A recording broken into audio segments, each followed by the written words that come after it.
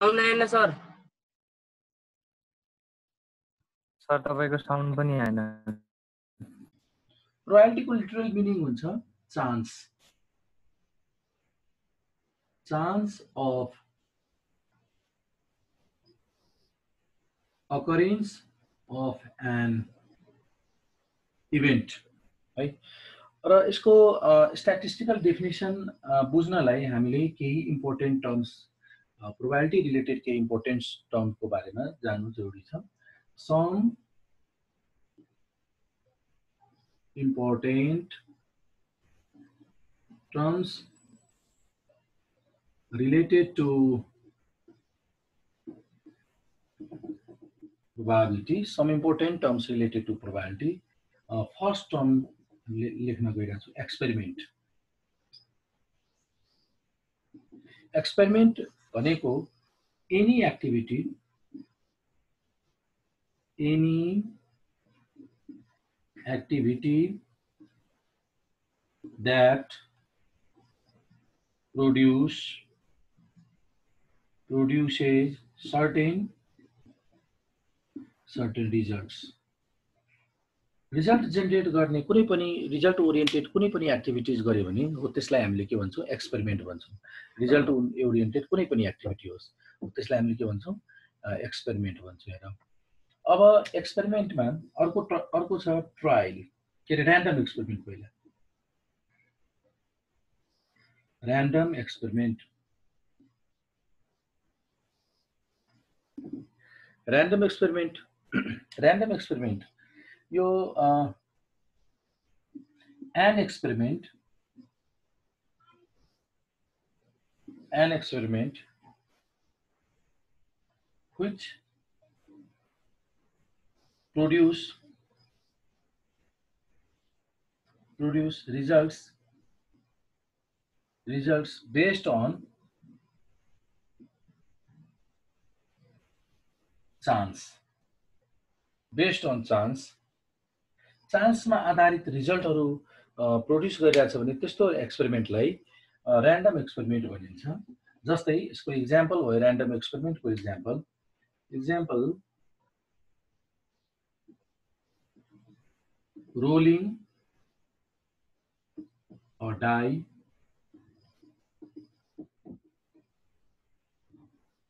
tossing a coin rolling a die produce six सिक्समा rolling dice roll गर्दा six आयो। है त? Six with chance one by six है त?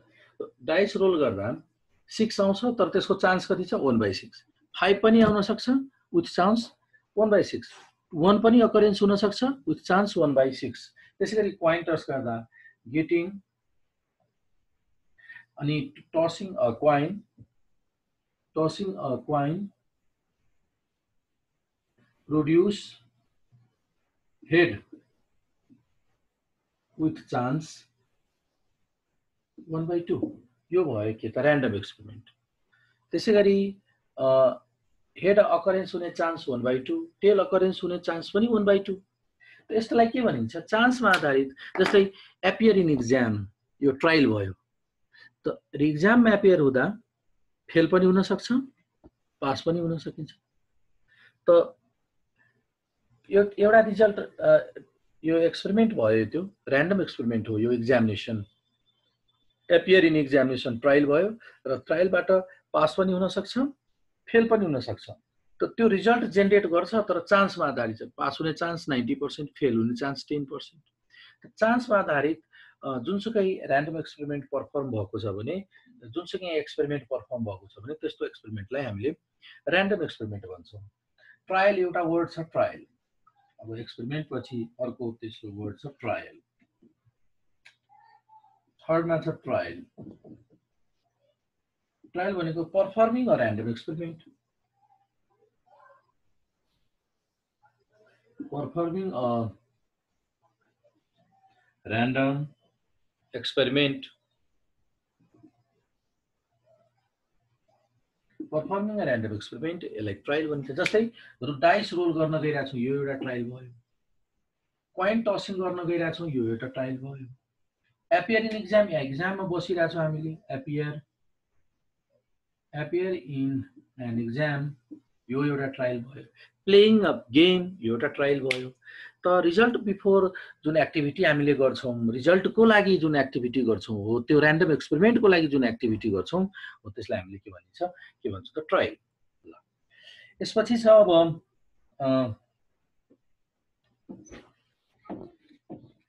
त्यसपछि छ अर्को छ हाम्रो इभेन्ट इभेन्ट चौथो event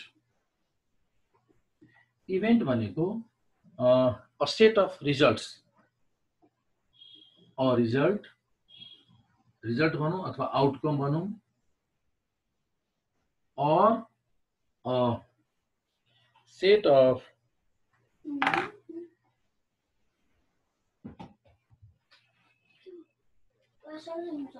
or a set of results अथवा outcomes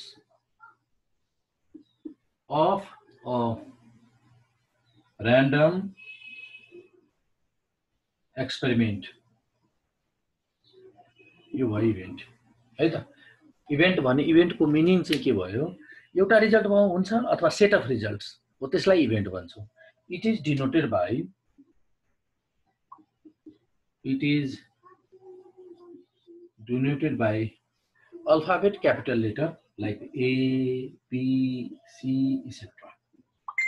Set theory जस्तै सेट लाइन नोटेसन जसरी गर्छौँ सेम त्यही तरिकाले हामीले इभेन्टको नोटेसन गर्न सक्छौँ. Example example if if die is rolled है डाई इज़ रोल्ड ए भनेको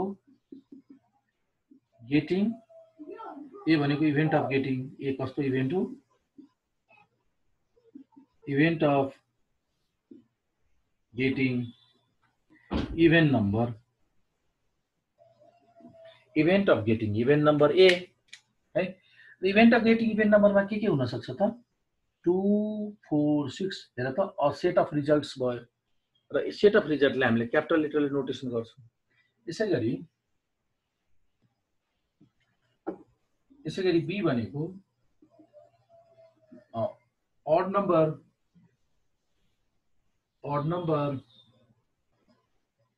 greater than three थ्रीभन्दा ठुलो अड नम्बर कुन त? एउटा डाइस गर्दा फाइभ यो पनि इभेन्ट भयो यो पनि इभेन्ट हुने भयो। त इभेन्टलाई इभेन्ट भनेको रिजल्ट्सहरूको समूहलाई अथवा एउटा रिजल्टलाई इभेन्ट भन्छौँ र त्यसलाई हामीले क्यापिटल लेटर यसरी अल्फाबेट लेटरले नोटेसन दिन सक्छौँ यो इभेन्ट भयो अब हेर स्याम्पल पोइन्ट यहाँनिर एक दुई तिनवटा छ यहाँ स्याम्पल पोइन्ट एउटा छ स्याम्पल पोइन्टको आधारमा इभेन्टलाई दुई किसिमले क्लासिफाई गर्न सकिन्छ it can be it is of two types. It is of two types. It is of two types. Number one, simple or elementary event र अर्को छ दोस्रो compound compound or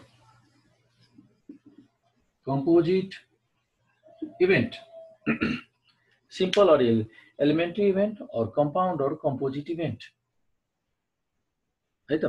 अब हेर सिम्पल इभेन्ट भनेको जुन यस्तो इभेन्ट जसमा एउटै स्याम्पल पोइन्ट छ। जस्तै B is here simple event र यस्तो स्याम्पल इभेन्ट जसमा एकभन्दा बढी स्याम्पल पोइन्ट छ जस्तै एमा कतिवटा स्याम्पल पोइन्ट छ? टू फोर सिक्स तिनवटा स्याम्पल पोइन्ट छ। त्यही भएर बी कस्तो इभेन्ट भयो? कम्पाउन्ड इभेन्ट अथवा कम्पोजिट इभेन्ट बुझ्यौ? त ए भयो कम्पोजिट इभेन्ट र बी भयो सिम्पल इभेन्ट लेखौँ त डेफिनेसन सिम्पल अथवा एलिमेन्ट्री इभेन्ट भनेको फर्स्टमा an event which contains only one sample point is known as is known as simple event simple simple event है र अ, यस्तो इभेन्ट जसले more than one sample point contain गरेको छ त्यसलाई के भन्ने compound event an event an event which contains more than one sample point right, is known as is known as